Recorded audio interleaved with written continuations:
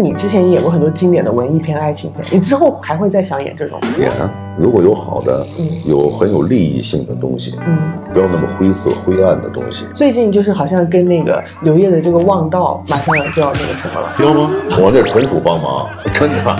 一开始让我演陈独，我说哪儿见过这么高、这么壮的陈独秀啊？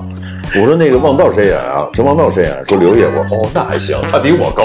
这单纯是他比你高你就演的嘛？难道不是因为刘烨这个人吗？这刘烨也跟我说过，说师哥你能过来帮个忙了吗？然后还有侯勇导演啊，也曾经找过我呀，怎么怎么样的？我说行啊，那既然那就。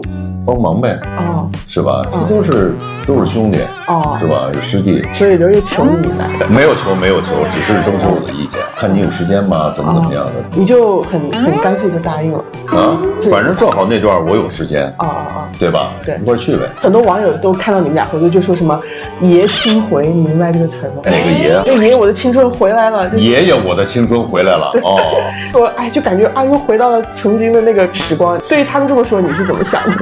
我很感谢你们啊，一直念念不忘。这说明我们当时当年演的那部电影很好，很成功，是吧？只要你们快乐，你们就去那么想吧。嗯，不错不错，我也是这么想。你是这么想的，后头，